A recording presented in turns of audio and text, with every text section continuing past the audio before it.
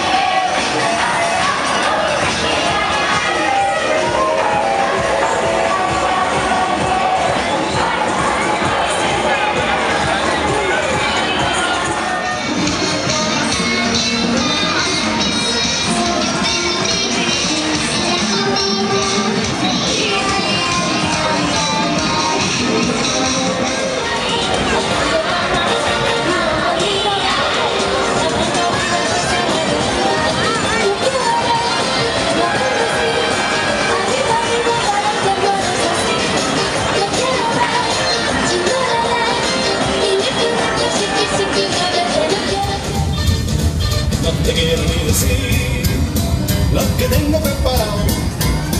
Es un juego divertido.